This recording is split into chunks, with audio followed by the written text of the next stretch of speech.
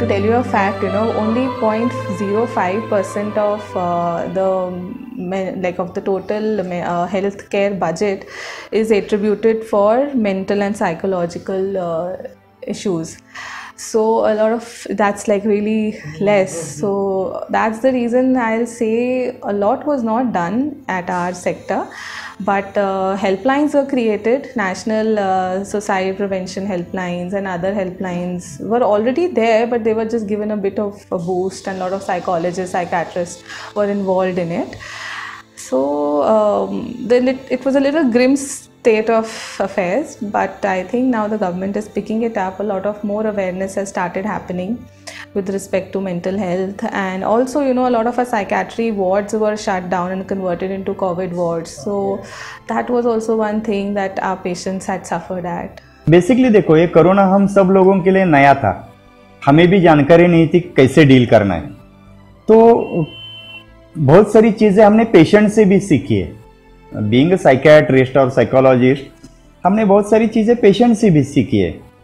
Uh, मैं मेरी practice में हमेशा एक प्रिंसिपल यूज़ करता था कि हम मैं हमेशा पेशेंट को मोटिवेटेड रखता था उनको रीअश्योर करता था उनको आधार देता था सपोर्ट देता था जिसको हम इम्पति बोलते हैं वो भी बहुत सारी इंपॉर्टेंट है। पेशेंट को सिंपल सपोर्ट करते इमोशनल लेवल पे तो भी uh, उसके रिजल्ट्स बहुत अच्छे मिलते थे। सेकेंडली मैं पेशेंट को मोस्ट ऑफ़ द टाइम बताता था कि ये सिचुएशन है सबके लिए नहीं है। तो उसको एक्सेप्ट करना सीखो। है ये सिचुएशन हमारे लाइफ में तो उसको एक्सेप्ट करना ज़रूरी है। और एक दिन के हिसाब से चलने के लिए बोलता था कि आज के दिन के लिए सोचो। Don't think too much about your future so one day at a time principle use करने के लिए मैं हमेशा बोलता था। उसका बहुत सारा फ़ायदा हुआ है पेशेंट्स को। फ़र्स्ट वेव्स में हमने बहुत सारे मैनिक पेशेंट देखे। जनरली बाइपोलर मूड डिसऑर्डर में मैनिया का एक एपिसोड रहता है, जिसको हम हर्षवायु बोलते हैं और उत्साहपूर्ण जो स्थिति रहती है, वो रहती है। तो उसमें बहुत सारे पेशेंट को इंसाइट नहीं रहती कि मुझे कुछ हुआ है। तो उसको तो अच्छा लगता है। प्रॉब्लम फैमिली मेंबर को हो रहा है।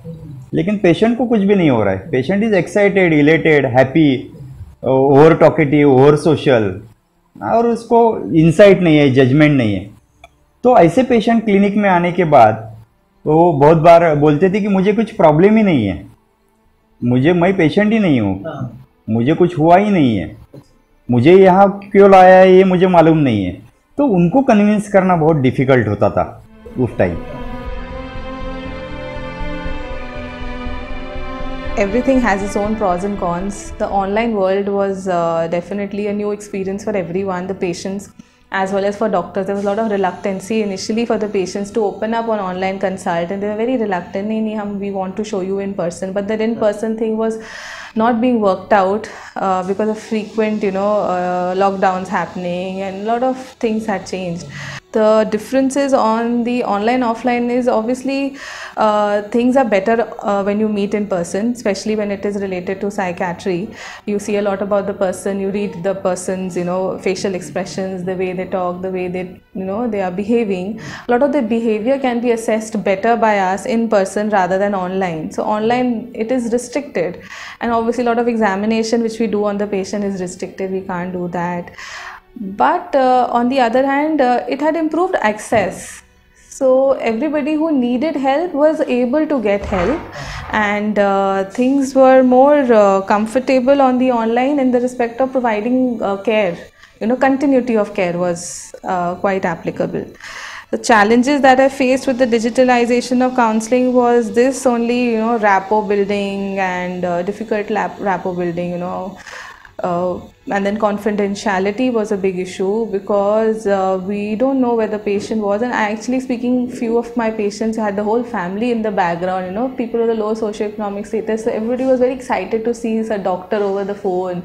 It was like a big thrill for them. So I will say confidentiality many a times was not maintained and also patients when they approach you directly on online mode they don't want their family to be involved. Whereas when the patient is brought here with the family the family is involved. So we do give time to the family also to speak to us. But in online mode the patient you know completely sidetracks that area. Doesn't want the family to intervene many a time. So history taking was not very easy. Rapport building was not easy. Confidentiality was an issue.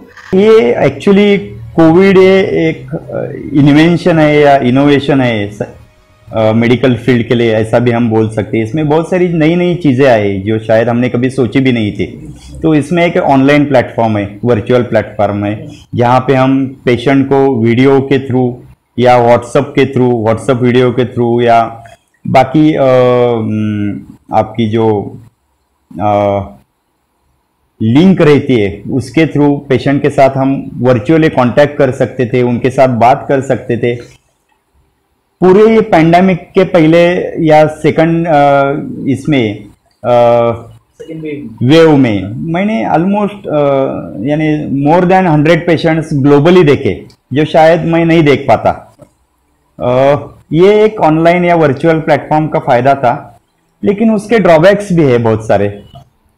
कभी भी patient को अगर हम first time देख रहे हैं तो in person देखना ज़रूरी है। हम बहुत सारी चीज़ें मिस कर सकते हैं। लेकिन उस टाइम सिचुएशन ऐसी थी कि पेशेंट को किस प्रकार से भी हम हेल्प करते तो भी वो बेहतर था। इसके लिए वो हेल्प भी ज़रूरी थी।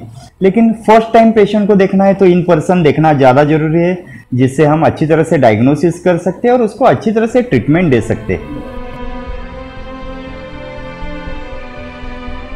Social media was flooded with a lot of promotions people were themselves actually speaking they had enough time you know because see the number of hours devoted to their practice was reduced also so i will say they also started self promoting uh, and they started providing a lot of mental health awareness through social portals so in that respect i'll say a lot of things did take a good uh, you know plunge basically देखो media का भी अच्छा role था इसमें media ने stigma कम करने में बहुत सारी हेल्प की है अवेयरनेस बढ़ाने में बहुत सारी हेल्प की है मीडिया में जो भी कुछ दिखाते थे, वहाँ पे जो एक्सपर्ट्स थे एक्सपर्ट्स का इंटरव्यू होता था, उससे भी पेशेंट बहुत बार रिलेट करते थे और हेल्प के लिए आते थे।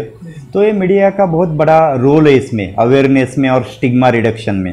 तो अगर हम कोविड से पहले साइकियाट्रिक इलनेस के बारे में लोगों का देखने का नज़रिया देखते हैं और अभी जो देखते हैं तो उसमें ज़मीन आसमान का फ़र्क है, उसमें मीडिया का बहुत बड़ा रोल है। पैंडेमिक ने बहुत सारे चेंजेस साइकेट्रिस्ट के प्रैक्टिस में लाए। एक तो साइकेट्रिस्ट ने खुद के बारे में सोचना चालू किया। साइकेट्रिस्ट का मेजर रोल रहता था कि दूसरों को हेल्प करना, उनको उनके तकलीफ़ से बाहर निकालना। लेकिन ये पैंडेमिक ने सिखाया कि खुद की तरफ़ भी ध्यान देना ज़रूरी है। मोस्ट ऑफ़ द केसेस मैंने देख केसेस में मैंने देखा है, मेरे बहुत सारे फ्रेंड्स है। उन्होंने ओपीडी प्रैक्टिस का टाइमिंग भी कम किया। पहले हम सुबह नौ बजे से रात को ग्यारह बजे तक काम करते थे। अभी हम सुबह दस बजे से शाम को पाँच बजे तक काम करते। लाइक ऑफ़िस आवर अभी हम घर में टाइम देना हमने चालू किया है। बच्चों के साथ बात करते हैं हम खेलते हैं। ये पेंडेमिक ने दिया है। It's a gift from pandemic लेकिन twenty four four by seven हम पेंडेमिक में बिज़ी थे। राउंड ओ क्लॉक राउंड्स रहते थे कॉल्स आते थे कोविड वार्ड्स के कॉल रहते थे। रेगुलर पेशेंट के इमरजेंसी कॉल्स रहते थे। Well, it's not easy. I was a young mother. I am still a young mother. So, you know, I was uh, taking care of my small baby and managing my work. So, that was a bit challenging. But for that, I'll say my strategy was goal setting. You know, I limited my uh, expectations out of myself and my work, I limited my time. So, that gave a lot of structure to both my professional and personal life so and you know i was keeping small goals accomplishable goals so that i was not getting frustrated or flabbergasted. So that really helped. And besides it obviously i involved myself into some recreational activity myself so that i can de-stress. So something like cooking was quite therapeutic for me. And doing something that involved a lot of happiness that as i used to tell my patients. First, as I told you, is stress management. And I also say time management is quite helpful in stress management. So do that and take help of your family. Your support systems should be quite strong. Uh, because uh, if you have strong support systems, you can be a little, a little more resilient in any stressful situation. And, and, at your level, also try not to get bogged down by anything that you come across which is very challenging. Rather, brainstorm and find a lot of solutions to that particular problem that you are uh, at, at, that point of time facing, and then you know try to use those solving techniques one by one, and then see whichever one helps you the best, and go ahead.